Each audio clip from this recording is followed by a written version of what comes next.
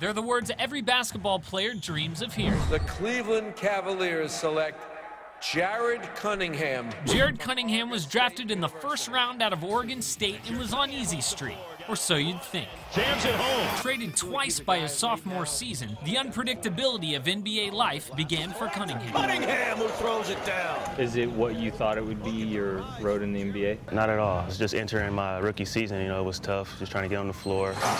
When you can't get on the floor in the NBA, you find yourself on the floor in the D League. It's not just getting used to living in the D League and, you know, you're not in four-star hotels anymore, but, you know, obviously got to come in with the right mentality of, of using the opportunity to get better. And at the Jam, Jared's done just that. Here's Cunningham. Cunningham. Cunningham. Oh my goodness. Rick, I don't know how much longer we're going to see him.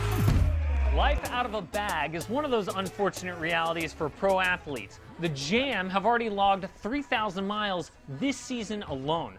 But when you're on NBA assignment like Jared is, even your travel life can be unpredictable. You never know. Um, you know, it might tell you 20 minutes before, you know, game time or uh, even right after practice. Cunningham's been assigned to the Jam not once, Catch a shuttle, not twice, made my 7 o'clock flight, but three times already this season. got dressed and was on the bench. That's over 10,000 more miles than your average D League player.